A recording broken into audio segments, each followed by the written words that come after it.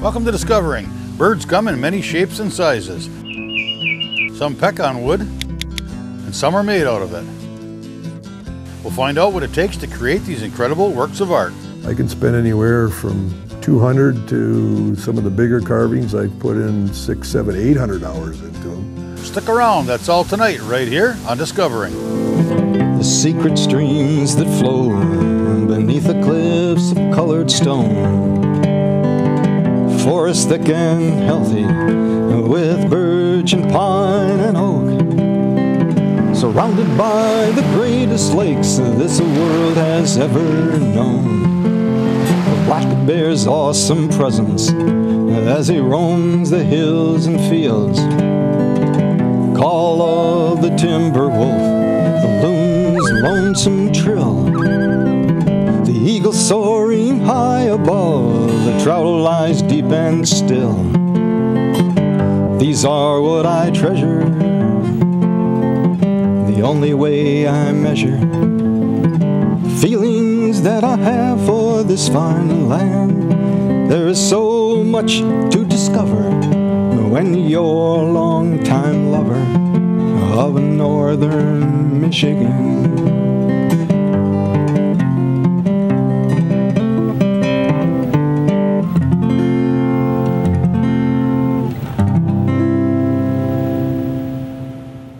On this show, we've seen trees turn into axe handles, fish, game culls, bowls, animals, and more. I visited the shop of Mike Williard to see how he turned trees into birds. The way I got into this was um, really not planned. Um, I've been woodworking since I was a kid. You know, I have a good understanding of wood, what you can do with it. I have the, the proper tools for forming wood into attractive things. So I decided, well, I'm going to carve a bird. Gave it a shot. It was um, kind of crude compared to the standards today. You know, normally I'm looking to get a little bit better at this every time I do a project. To me, it, it felt like it was a fun process. It was easy to do, and uh, it just blossomed from there. Project right here is a, is a work in progress. It's a male pine grosbeak that's going to be mounted on habitat to represent um, an autumn crabapple tree. The idea is to make this look graceful, to make the bird look like he's doing something. I start gathering photos, either photos that I've taken right here in our yard or out in the woods, gather photos that are available on the internet so that I can see all of the different angles of the bird here and how to carve the different components. I need to know what they call the wing chord here, which is the distance from here to the tip of the wing so I get the right dimensions on the wing. Uh, I need to know what the eye size is. It's important with the eyes that you're able to show an expression that's appropriate for the sculpture that you're doing and it relates to how the bird is uh, interacting with its environment. The tail feathers, it's important to know how these are going to be structured on the bird for the bird to look realistic. I gathered up pictures that represented the side and the top view that I needed to get this bird roughed out transferred that over to another sheet, which is a much larger pattern. It gives me room to remove wood here. Then you transfer that to a block of wood. And what I'm trying to do here is to get the dimensions of the bird so it looks realistic. I've got the wings that are the right size, the tail length is the right, right size eyes in here, and all the proportions are, are what a bird would naturally look like. What I'm trying to do is to get a, a flow here so that when somebody looks at this, their eye is naturally drawn to the bird and what the bird is doing. I'll show you an example here. It's a red-breasted nuthatch. What I did is I sketched out patterns so that the dimensions were all the same. When I folded this thing over from the top view and the side view, the lines for the head and the tail feathers and such would all be proportional with each other. And what I did is I cut patterns just out of um, cardstock here. I transfer that to the side. I do that after I study the grain on here. I want that grain to run as much as it possibly can, the length of the wings and the tail and the beak here, so that there's strength in the wood after I carve it. Your top pattern goes up here. Your reference lines here to make sure that your, your beak and your head and your tail feathers are all going to line up.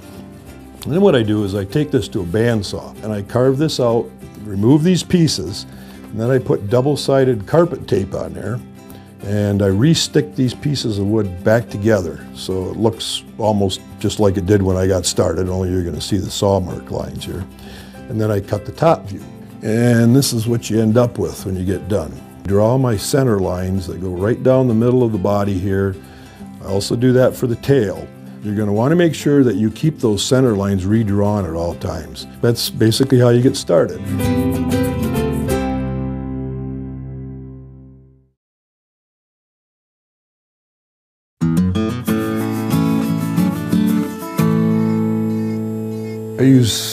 Larger Dremel tools for actually um, hogging out the wood to get rid of all the, the large sharp edges and that type of stuff. And then I move into something that's called a micromotor. These are extremely precise. These are made by a company that makes dental tools. All we're doing at this point is just trying to take off the sharp edges and to make this thing look like it's actually going to be a bird. A little slower speed.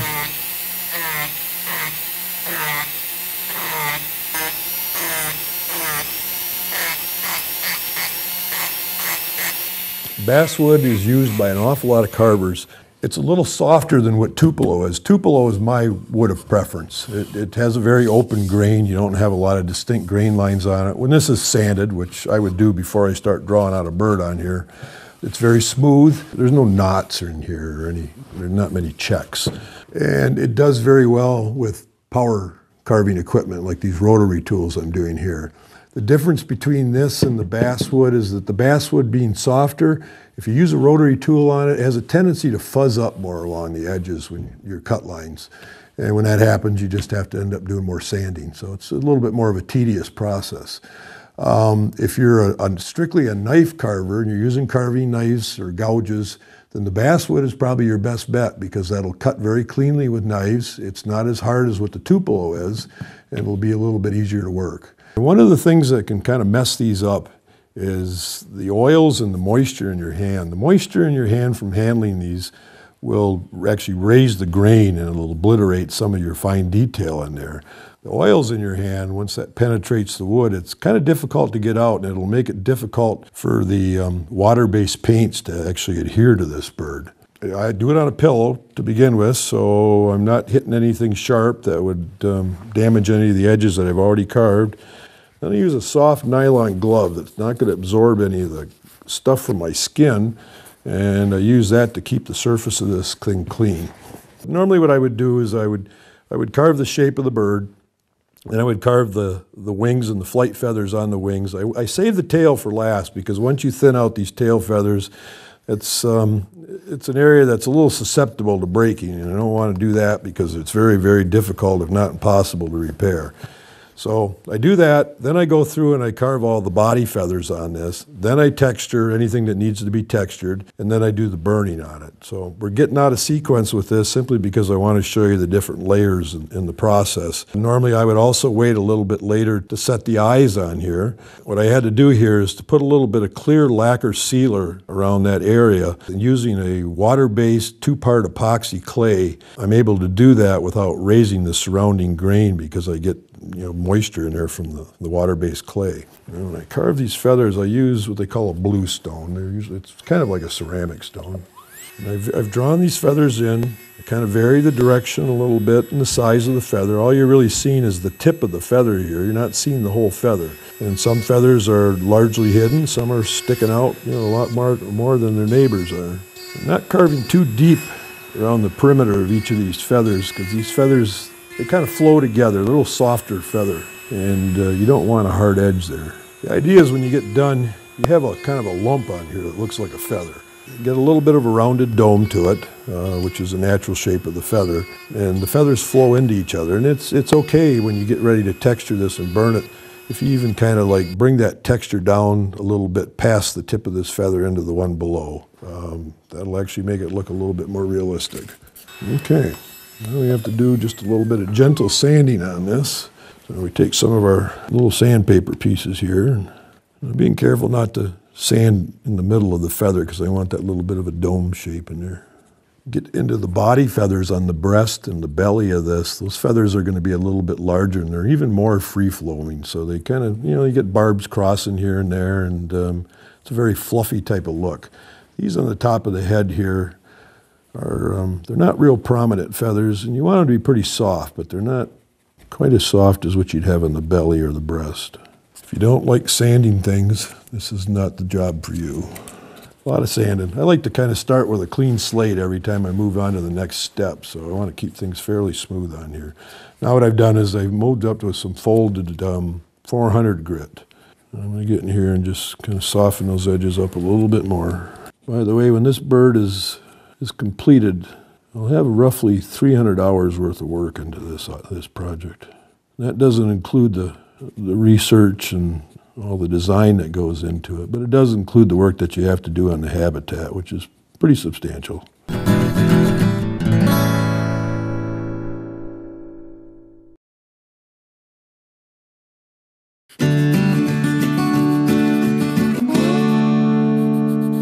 When you move into the feather detail, can show you an example of a couple things here. We'll do a little bit of work on that pine grosbeak.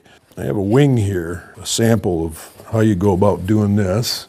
We're going to use a little bit more of a precise tool for this one because we want everything pretty smooth. I've already started carving this and uh, I burned some feathers in with a wood burning knife and I'll show you I left a few feathers here that haven't been completed.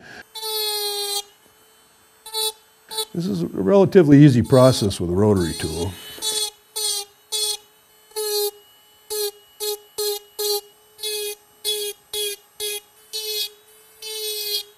Use a kind of a special sandpaper configuration here. I've got several different grits. This is a sandpaper that's made over in Switzerland and it has a self-adhesive back and I cut strips of this. I fold them back on each other with a piece of cardstock in here to stiffen them up a little bit.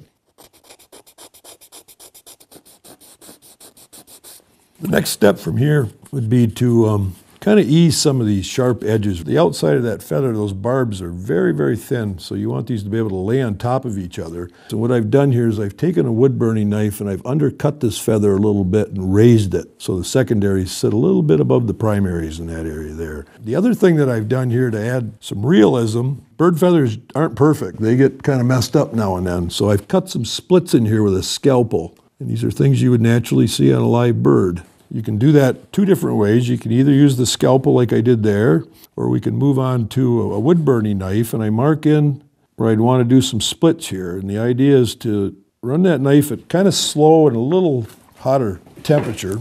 You're carving feather barbs in here but you're actually removing that wood in between the barbs. If you were going to try to do that with any other tool, it would be impossible because those slits would just close right back up and you wouldn't have the proper texture on that. I've also done one other thing here too. I've carved in the, the feather quill and we're going to start burning in these individual barbs. A typical songbird's going to have anywhere from 20 to 30,000 of these barbs by the time you get done burning in. If you don't have a lot of experience working with a, a wood burning knife like this, you're best to do it kind of very slow and at a low heat. You can always come back and burn them a little bit deeper than this. When I burn these feathers, I generally like to work from the bottom up, so it allows you to drag a little bit of that top feather into that bottom feather, so you get a natural edge there. That's basically all that's involved in this. You know, when, if you're having a good day and you get your rhythm down, you can actually burn probably 100 barbs per inch which is pretty fine detail on this. That's really what turns a kind of a blob of a feather into something that's going to look real. And it depends on the type of feather you're birding too. These flight feathers here on this wing, they have a little coarser barbs. You don't need to get quite that close. When you start moving into some of these top feathers up in here, the, the body feathers, then you want to get a little finer detail on there. And generally what I'll do on those is to go through and, and burn them pretty light, and then I can always go back and reburn these things on top of the feathers that were born before and put more barbs in there. What I've done on this one too is you can see there's some texturing here. On this wing, you're looking at these um, nape feathers or these lesser coverts that are on top of here. And on a bird like this um, pine grosbeak, these are pretty structured feathers in here, so you're going to see distinct edges on them.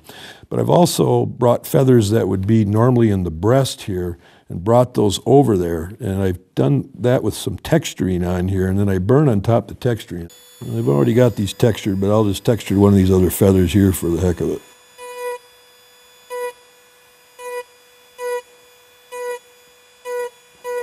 I'm burning in feather barbs, but I'm burning in clumps of, you know, two or more barbs in here. These are pretty thick spacings on them. So I'll go through with the burning knife and I'll actually carve a couple of barbs on top of each one of those lines in there. And that's what actually gives this feather a little bit more depth. It gives it a sense of being fluffy. You can see that these feathers that I've carved up here are actually a kind of a dome shape in here, the way a natural feather would be. Any fluff that you can add to that is going to make it look, you know, a lot more realistic. It's going to look like a real bird feather.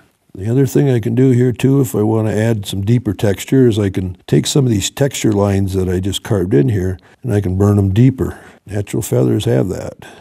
You don't want to burn these barbs as a straight line. Birds don't have straight line feathers except for when you get into these flight feathers on the wings and the tail. These barbs go in a little different directions. You either burn them in kind of a C shape or even an S shaped. We're actually removing wood with heat. It sort of melts those fibers away. What you need to do to clean this up a little bit, we want to remove some of that carbon that's still left in there. Okay, that's all there is to that. If you don't have something like this, you can just use a fine bristle brush. A toothbrush works great. But you want to get some of that junk in there that's still loose from the burning.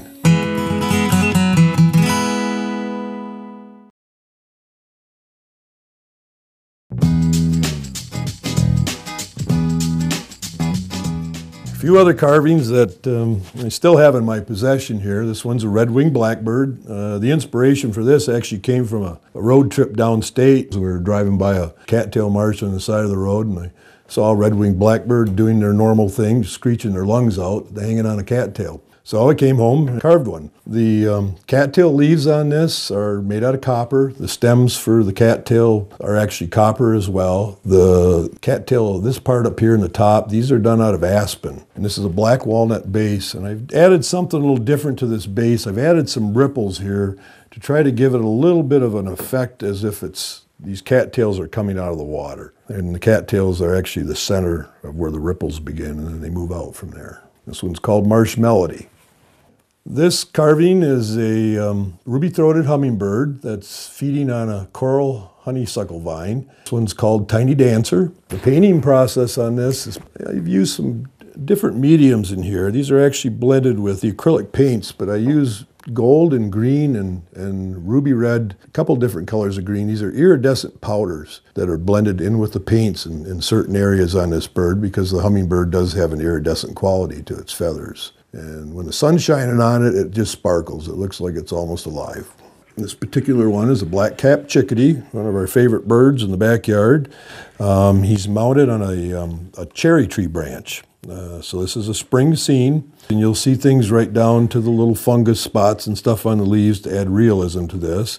This is a good example where I've used various forms of moss or lichen patched here and there on, on the branches to make them look realistic.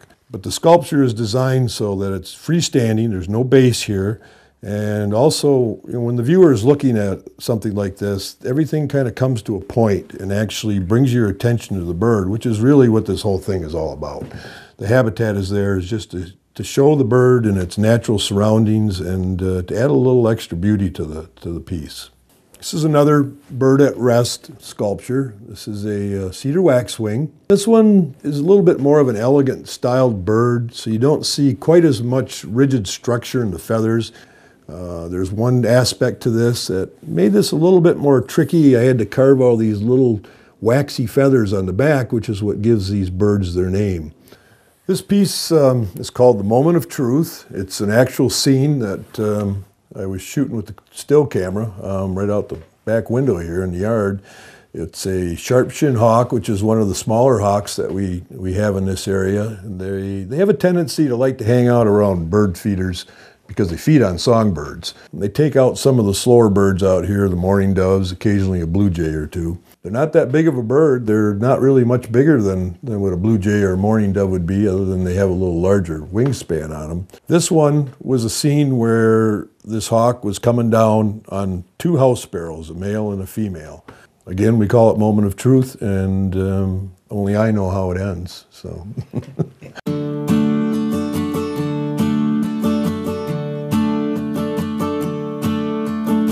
That started with this. The first few birds that I did were um, actually carved out of popple. Uh, I found out real quick that there's just too much pitch in that stuff, and the grain is, you know, you get a lot of bumps in the grain on it. So it didn't work real well, but the birds turned out okay. What I used at that point was just a sharp carving knife. You know, and that's basically all you need. Um, I had a kind of an inexpensive wood burner that was a little bit rough. It didn't do the kind of fine detail work that you can do with these that, where you're cutting almost with a razor blade on the end of that knife. But a good sharp carving knife, um, a chunk of wood of your choice, get yourself some, some kind of pattern that you can either buy or you can develop it on your own by looking up some information online and you're all set to go. For a setup like this, I probably got a couple thousand dollars, not including the table saw and the router here, uh, just in carving equipment. You don't need to do that. Uh, you're going to spend for one or two good carving knives that have good sharp blades that'll hold their edge, 40 to $50 for a couple of knives. Uh, you're going to need some sandpaper. You can buy an inexpensive wood burner. You may have to modify the tips so they're a little bit sharper. And You can probably get one for about 30, 40 bucks. So you, know, you could probably get into this whole thing for less than $100. You can buy inexpensive acrylic paints. They have a tendency to have more of a gloss to them, which may not look as natural on your birds because most of these birds don't have a sheen to their feathers. You can buy those things so probably for 75 cents a bottle at any hobby store or craft store. So there's really not a lot, it just, but it takes patience and make sure that you know you take a look at what the bird really looks like through photos or just personal observation before you start carving on this thing. Make some notes and do some sketching and, and uh, then you have to start working on the feather detail. First bird that I ever carved probably didn't take me nearly as long as, as they do today. You know, again, I can spend anywhere from 200 to some of the bigger carvings I put in six, seven, eight hundred hours into them. You can do something like this and you can probably complete this in about 30, 40 hours worth of work um, paint it with some cheap paints, and it's going to look an awful lot like a red-breasted nuthatch.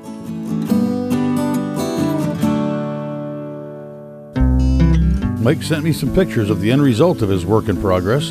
Here's a look at the finished version of his pine grosbeak.